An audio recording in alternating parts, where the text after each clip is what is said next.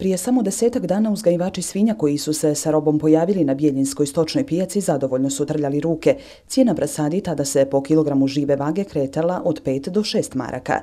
Ovo i dalo vjetar u leđa semberskim seljacima koji su sa robom 1. maja nagrnuli ka stočnoj pijaci. Međutim, tamo ih je dočekala velika ponuda, a s njom i niže cijene brasadi koje su se kretale od 4,5 do 5 maraka.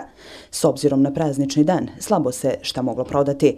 Ne hvale se zaradom oko prvomajskih praznika i džurđev opravdana ni prodavci na Bjedinskoj zelenoj pijaci. Slaba kupovna moć i plitak džep naših sugrađana i tekako su tvrde došli do izražaja.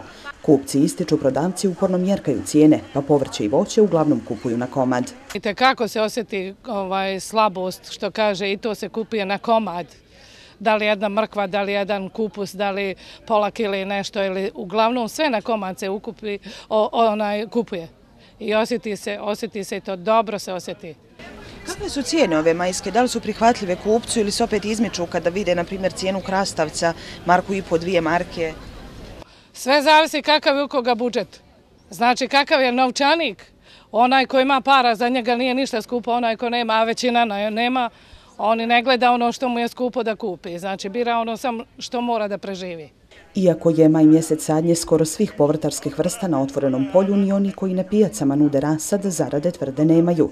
Ivan Pejić u Velikoj Obarskoj proizvodi rasad. Sa robom se priča nam pojavljuje i na zelenoj, ali i na kvantaškoj pijaci agrotržnog centra. Posla ističe mnogo i raditi se mora, ali priznaje da se uloženo teško naplati. Za jedan pijačni dan sabrao je, kaže, zaradi oko 45 maraka. Danas je došlo da su toliko sjemena, kad se sračuna sad od ovoga struga, pola marke što ja prodam. Ne merem ostati jedna peninga. Kupim humus, kupim čašću, kupim sjeme. Sjeme svake godine poskupi skoro duplo. A šta ću ja ga moram kupiti? Ako ostavim ja da ostavim sjeme od ovoga, kup će čovjek pa iduće godine opet da prodam ono ne mere valjati. Rodi na vrški ili ne rodi, nikako. Kako koja godina sve teže i na zelenoj pijaci zaraditi koru hljeba, kažu prodavci, pa kalkulisati sa cijenama moraju kako bi nešto prodali. Kada roba ne ide, cijene padaju, a često se desi i da roba, s njom i uloženi novac u proizvodnju ili nabavku propadne, pa su gubici u tom slučaju znatno veći.